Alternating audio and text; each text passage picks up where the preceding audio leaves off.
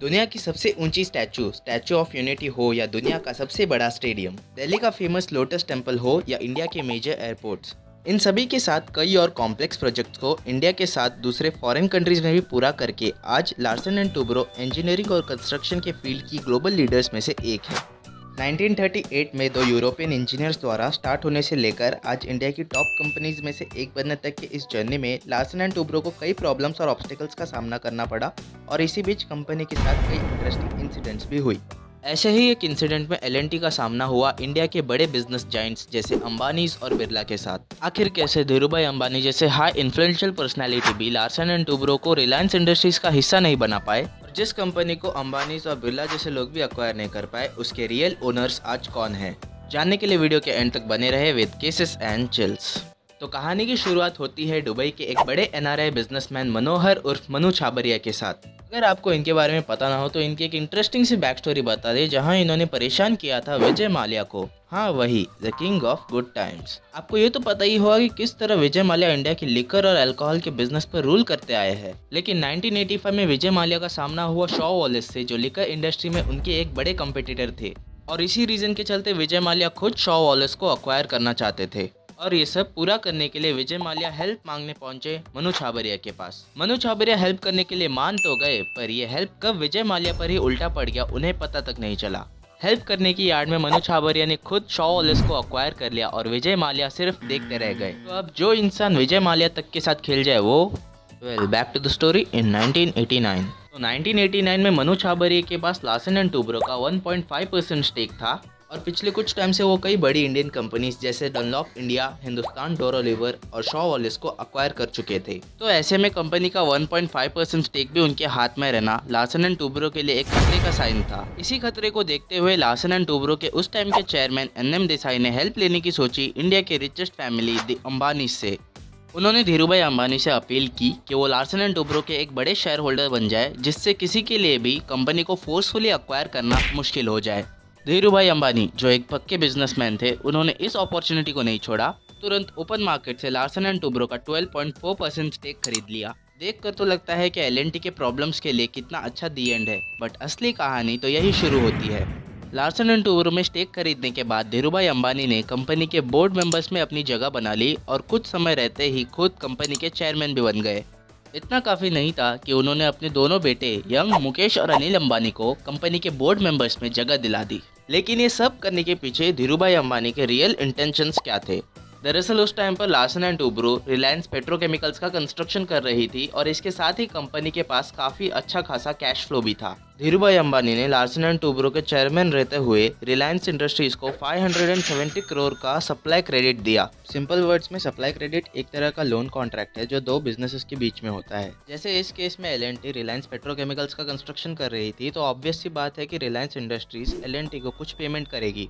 But क्योंकि अब धीरू भाई अंबानी ने एलएनटी की तरफ़ से रिलायंस इंडस्ट्रीज़ को 570 करोड़ का सप्लाई क्रेडिट दिया, इसलिए उन्हें ये पेमेंट बाद में करने का ऑप्शन मिल जाता है। इसके साथ ही उन्होंने लार्सन एंड टूब्रो के कैश का यूज़ करते हुए रिलायंस इंडस्ट्रीज़ के 76 करोड़ के शेयर्स परचेज किए, जिससे रिलायंस के शेयर की वैल्यू बढ़ जाए। तो अब जहाँ पूरी सिचुएशन अंबानीज के कंट्रोल में थी, वहाँ ऐसा क्या हुआ कि एलएनटी उनके हाथ से छूटने लगी? ये जानने के लिए let's talk about some politics कहा यह जाता है कि उस टाइम पर अंबानीज के पास रूलिंग पार्टी यानी कांग्रेस का काफ़ी अच्छा खासा सपोर्ट था।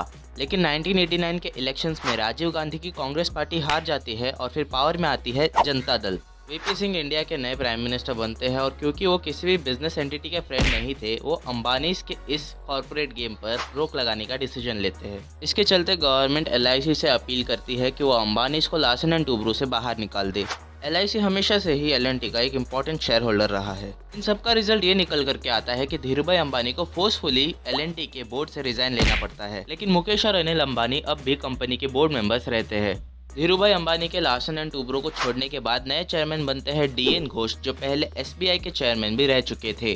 डीएन घोष के लीडरशिप में जो सप्लायर्स क्रेडिट रिलायंस इंडस्ट्रीज़ को पहले दिया गया था, उसे विड्रॉ किया जाता है। और जो रिलायंस के शेयर धीरूभाई अंबानी ने परचेज किए थे, उन्हें मार्केट में वापस बेचा जाता है। तो अब जहाँ लगने लगता है कि एलएनटी के सिचुएशन स्टेबल हो रहे हैं, वही कहानी में एक और बड़ा ट्विस्ट आता है। वीपी सिंह की माइनॉरिटी गवर्नमेंट उस समय के पॉलिटिकल इश्यूज़ में सर्वाइव नहीं कर पाती और इसीलिए 1990 में उन्हें रिप्लेस करते हैं चंद्रशेखर। चंद्रशेखर का अंबानीज के साथ काफ़ी अच्छा कनेक्शन होता है, जिसका रिज़ल्ट ये निकलता है कि डीएन घोष को एल से रिज़ाइन होने के लिए कहा जाता है।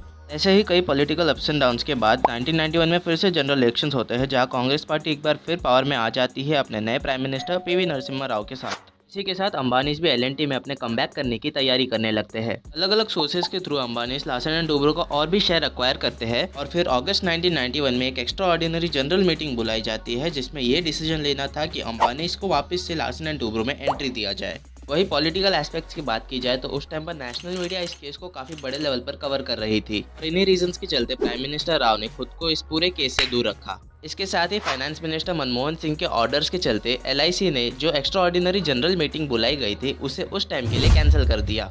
काफ़ी ड्रामेटिक सा सिचुएशन हो गया था, जहाँ वो शेयर होल्डर्स जो अंबानी को सपोर्ट कर रहे थे, उन्होंने मीटिंग ऑडिटोरियम को खाली करने तक से मना कर दिया था। इन सब के बीच अम्बानीज को एक बात समझ आ गया था कि इस केस में कांग्रेस की माइनॉरिटी गवर्नमेंट के लिए उन्हें पूरी तरह से सपोर्ट करना पॉसिबल नहीं था। अगले दस सालों के लिए अंबानी लार्सन एंड टूब्रो के पैसिव इन्वेस्टर्स बने रहे, जिसके बाद 2001 में एक शॉकिंग एग्जिट लेते हुए उन्होंने अपना 10.5 percent stake Aditya Birla group की कंपनी ग्रासिम को बेच दिया। ये स्टेप इसीलिए शॉकिंग था क्योंकि ग्रासिम सीमेंट इंडस्ट्री में लार्सन एंड टूब्रो का एक बड़ा कॉम्पिटिटर था। इस तरह एलएनटी के सामने एक और बड़ा चैलेंज आ गया था, लेकिन अब लार्सन एंड टूब्रो अपने नए लीडर अनिल मनीभाई नायक के साथ इस चैलेंज को फेस करने के लिए रेडी थे। अनिल नायक उस टाइम एलएनटी के सीईओ और एमडी थे और उन्होंने इन बड़े कॉरपोरेट प्लेयर्स के गेम पर रोक लगाने के लिए कंपनी के अंदर से ही एक रेवोल्यूशन लाने की शुरुआत की। उन्होंने अपने एम्प्लॉयज़ को मोटिवेट किया कि वो खुद कंपनी की रिस्पॉन्सिबिलिटी अपने कंट्रोल में ले ले। अनिल नायक की लीडरशिप ने उनके एम्प्लॉयज़ के अंदर एक नया जोश भर दिया, जिसके बाद लार्सन एंड टूब्रो का एम्प्लॉयज़ ट्रस्ट फॉर्म हुआ। इसी तरह अनिल नायक ने बिरला ग्रुप को लार्सन एंड टूब्रो में एंट्री लेने नहीं दिया, और ऐसे ही कई महीनों की नेगोशिएशंस के बाद बिरला ग्रुप को फाइनली लार्सन एंड टूब्रो के सामने झुकना पड़ा, जिसके बाद जून 2003 में उन्होंने अपना स्टेक लार्सन एंड टूब्रो के उसी एम्प्लॉयज़ ट्रस्ट को बेच दिया। इसके रिटर्न में बिरला ग्रुप को लार्सन एंड टूब्रो का सीमेंट डिवीज़न मिला, जो आगे चलकर अल्ट्राटेक सीमेंट बना। तो इस तरह लार्सन एंड टूब्रो छावरिया से अम्बानीस और फिर अम्बानीस से बिरला के हाथों से बचते बचाते हुए आखिरकार एक सक्सेसफुल एंटिटी बन पाई। आज भी एल का वो एम्प्लॉयज़ ट्रस्ट कंपनी के स्टेक का एक इंपॉर्टेंट परसेंटेज होल्ड करता है।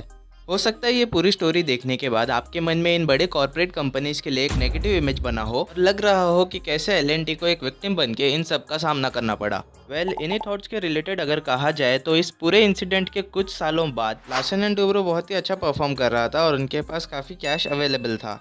और इसी कैश को उन्होंने माइंट्री नाम की एक सॉफ्टवेयर कंपनी में इन्वेस्ट किया। इसके बाद और भी सोर्सेज से इस कंपनी के शेयर्स अक्वायर करके उन्होंने इस कंपनी का हॉस्टाइल टेक ओवर कर लिया। तो अब इस पूरे सिचुएशन को देखकर क्या हम किसी कंपनी या कॉरपोरेट प्लेयर को सही या गलत ऐसे जज कर सकते हैं? वेल नो देखिए, ये कॉरपोरेट वर्ल्ड ऐसे कई रूल्स और सिस्टम्स के बेस पर काम करता है और ऐसे केसेस यहाँ डेली होते रहते हैं।